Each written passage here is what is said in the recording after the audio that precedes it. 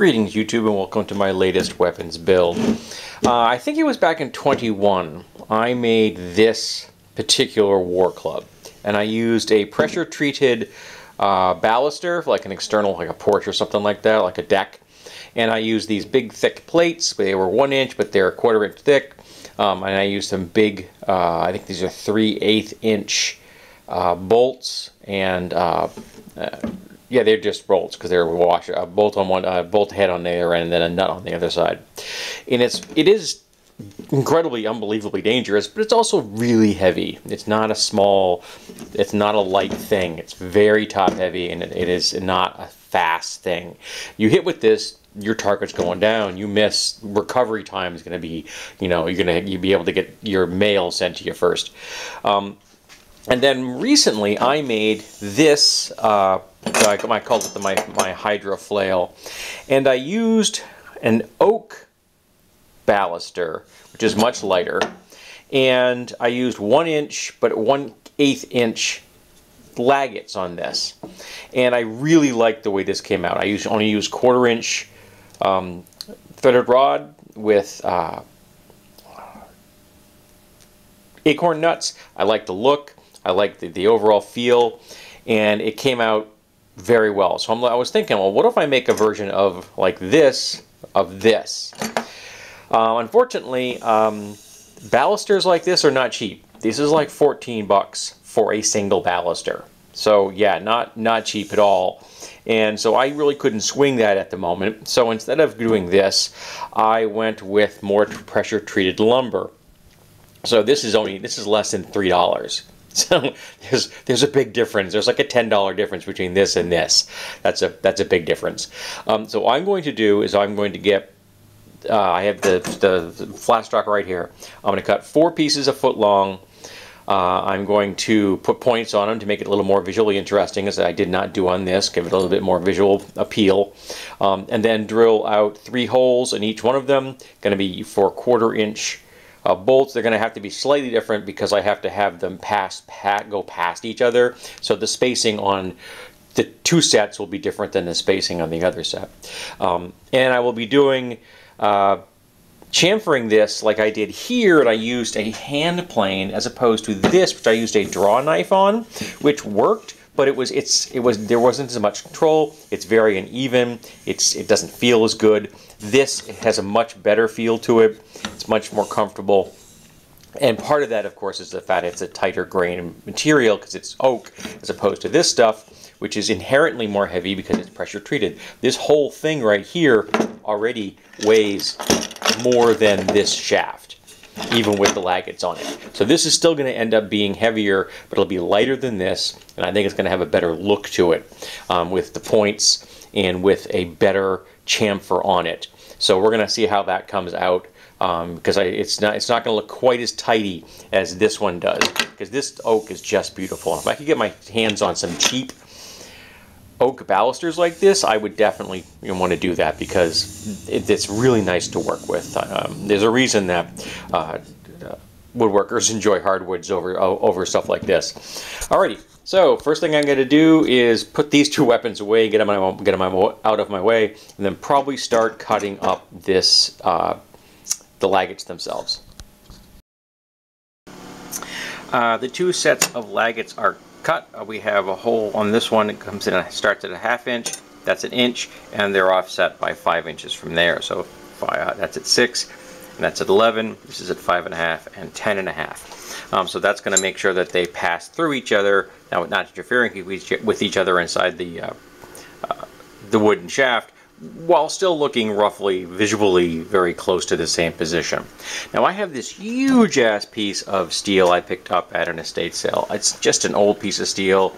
It has no particular historical value as far as I can, I'm concerned. And uh, so I cut this block out of it. I had to cut off this end because the space I was that was not two inches wide. If that had been two inches wide, I would have cut out of there, but it isn't because this is roughly two inches wide and this is hand forged, so it's not exact. Um, but it gives me a rough two inch square because this is going to be the plate that goes on the end of the of the, the war club. This is going to give it more oomph at the end, not to mention it's going to end up having four impact points in and of itself, as well as the four laggets um, to boost. And that means that these will have a positive stop because um, I will install this first and then these. Um, so that will help me to help me locate everything I need as far as the holes are concerned for the, when I'm drilling through the the uh, shaft itself. Um, so I'm going to drill, I have to make a, diagonal across here, and I'm going to drill two holes um, that were going to be within the uh, diameter of the, or the, the dimensions of the shaft. And I'm going to put in two screws, boom, boom, on that diagonal, which means that the bolts going this way will not interfere with them. And I'm going to use three inch um, wood screws because this is a big ass piece of steel. That ain't small. Um, and I want to hold it in place. So we're going to use, uh, I'm going to use uh, three inch uh, deck screws. So the first thing I'm going to need to do right now, I think, is going to be lay this out, drill two holes, and then uh, figure out what diameter I need first of all, and then drill through holes for that, and then chamfer them because I want the the heads of these to be just below the surface of this. I don't want you to see the, see these two from, from the side. You'll be able to see them from the end, obviously, but I don't want you to be able to see them from the side. So I'm going to uh, countersink them so that they sit just below that surface. And I would normally drill a piece like this when it was bigger, but this is such a big piece, and I just, I could have done it with this, I guess, but I wanted to get this off. I could have left that on for the drilling, but I didn't. Um, but yeah, it's a big enough piece that I'll be able to hold it with the clamping um, and still drill that safely.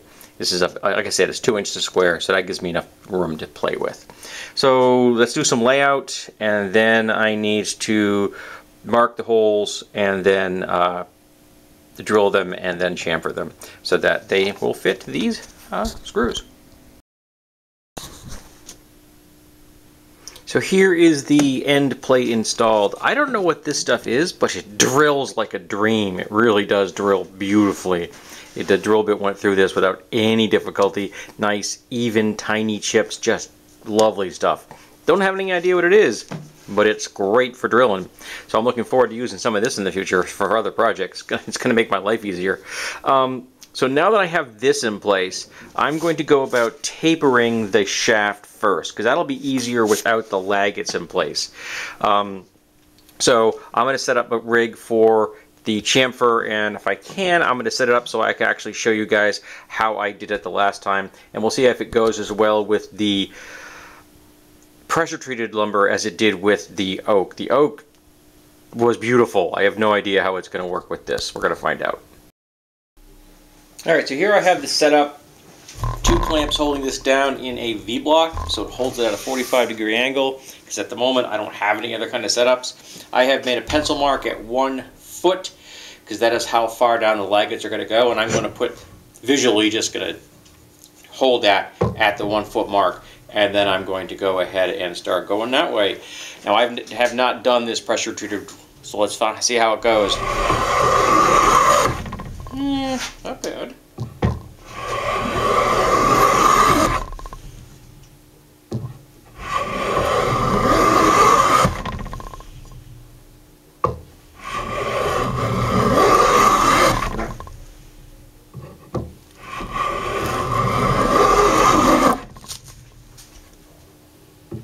One thing I am looking forward to is I'm currently designing a outdoor work surface because I really don't like having chips in my shop. I work with a lot of cutting metal, which means I use an angle grinder a lot. I don't like the idea of uh, there being a lot of uh, wood chips in my shop when I have sparks everywhere. That makes me really, really nervous. So, uh, looking forward to having the space outdoors that I can work on metal with. It'll make my life a lot easier. I think I own a larger plane. I just don't know where the heck it is. It's something that I had kept around because it was like a passed down to me or as a gift or something. And uh, So I didn't use it for a very, very long time. Um, so I don't know where it is. really got to find it. Because this would obviously be easier if I had a larger plane.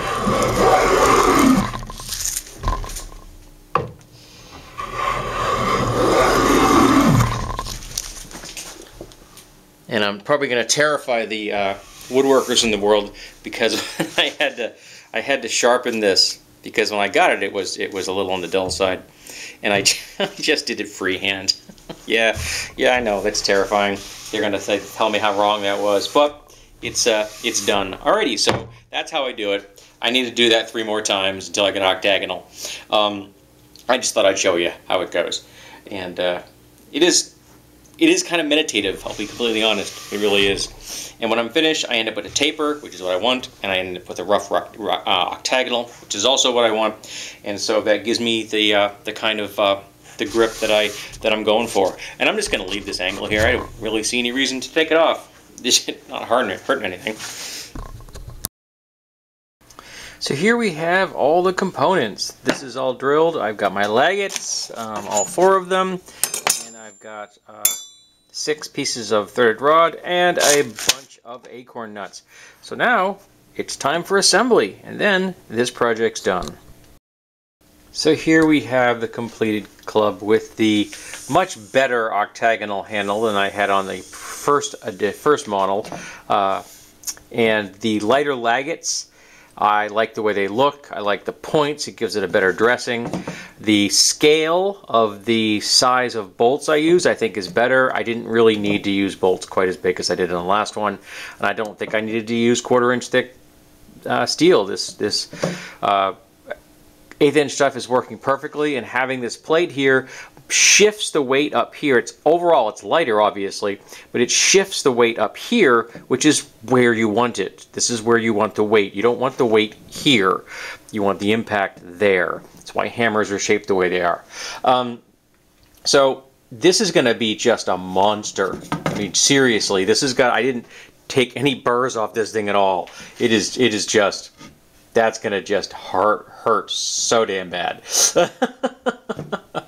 um, so yeah, this is a great little project. It took me like one morning. I think I've been down here for I don't just shy of three hours.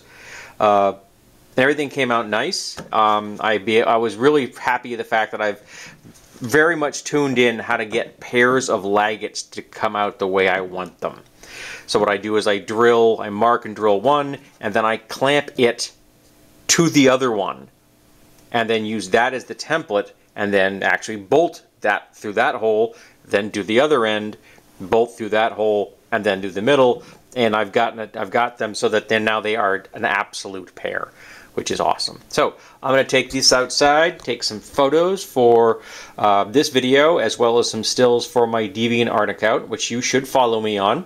Um, it's the permanent home of where I store my images from my weapons builds and you should also follow me on Instagram because I post bargains I find, scrap I find that end up in the projects, um, and of course cute cat pictures and who doesn't love cute cat pictures.